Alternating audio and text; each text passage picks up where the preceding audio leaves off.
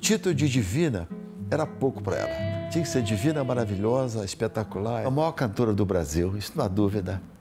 Deixa o coração falar também.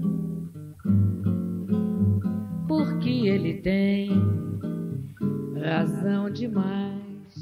Eu fiz 25 shows com ela pelo Brasil todo e vi a reação do público. Podia ser um público refinado, de um ambiente mais sofisticado, podia ser também numa lona de circo. As pessoas ficavam hipnotizadas por ela, sabe? Ninguém vive mais do que uma vez. 1981. Elisete Cardoso é uma das convidadas do projeto Pixinguinha, criado quatro anos antes pela Funarte, em parceria com a Sociedade Musical Brasileira. A iniciativa promove a música popular brasileira com shows por todo o país a preços populares. Olha, o projeto Pixinguinha de 1981 foi um projeto maravilhoso, porque era um projeto, na época, de dar oportunidade a jovens artistas, jovens cantores. Tanto que eles misturavam gerações. No meu caso, Elisete Cardoso, super consagrada, eu chegando e o Zé Luiz Mabaziotti iniciando completamente a carreira dele. De repente, os longes estão perto e o futuro é agora. E o passado um sonho.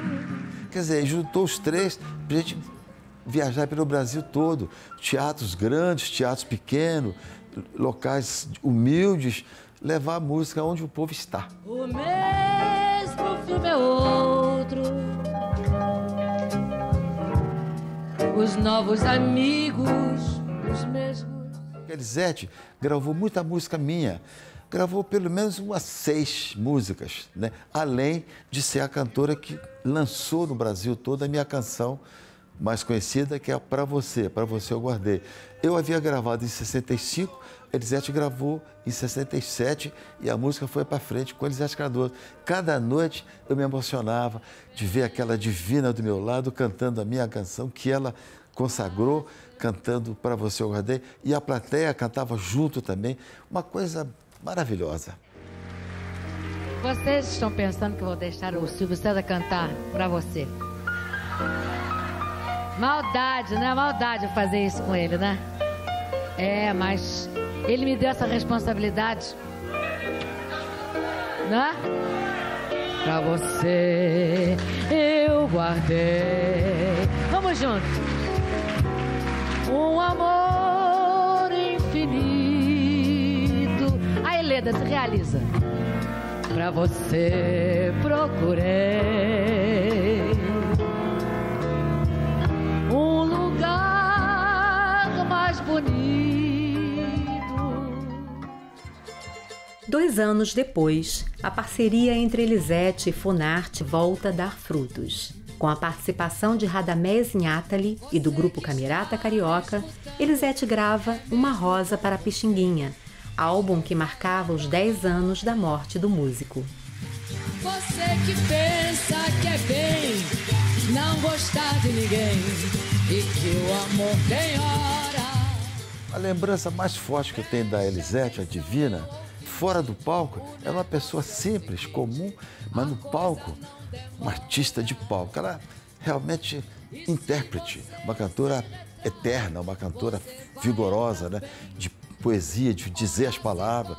Você vê que a musicalidade era um absurdo. Zé Cardoso.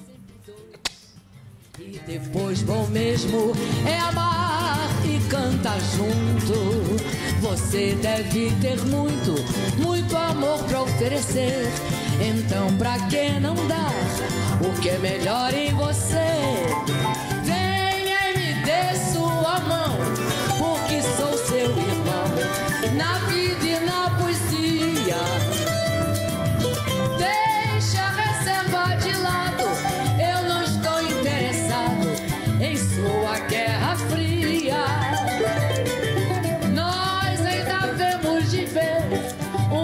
De florescer,